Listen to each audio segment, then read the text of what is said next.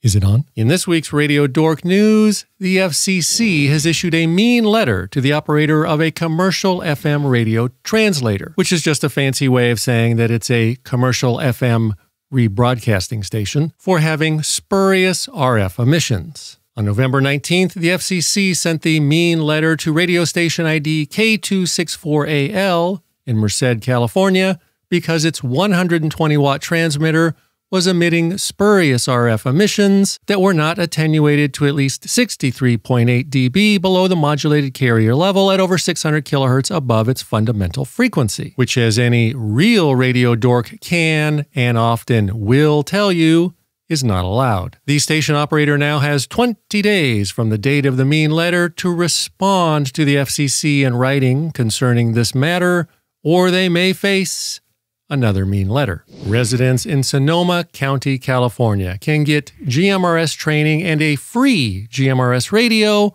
for use during times when cell phone service is not available, for example, during an emergency. As reported by the Sonoma Valley Sun, thanks to a grant from the Urban Area Security Initiative, which is a grant program funded and administered by the Department of Homeland Security, local businesses and actual people that live or work in the tiny Springs area of Sonoma County, California, can attend a free GMRS radio workshop and receive a free GMRS radio just for showing up and learning about GMRS. Ham radio operators throughout the country are leaving their radio rooms and taking to the streets and cheering an FCC announcement that they have expanded the 60 meter band for licensed amateur radio operators. As outlined in the 74 page proclamation just published by the FCC, amateur operators licensed to use the coveted 60 meter band will now be able to legally transmit in the 5351.5 to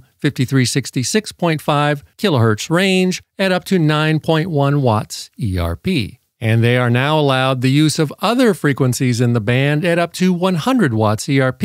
with no restrictions on antenna use. But of course, and it should go without saying, that your antenna gain must be taken into account when calculating your ERP, and obviously, you have to keep your maximum bandwidth at 2.8 kilohertz. Both the FCC and the ARRL also caution that this new bandwidth allocation is strictly on a secondary basis and both the FCC and the ARRL will be keeping a very close watch on this new frequency allocation to evaluate the 9.1 watt ERP limit and its potential for harmful interference. And that is all the Radio Dork news that is fit to print. Join me again next week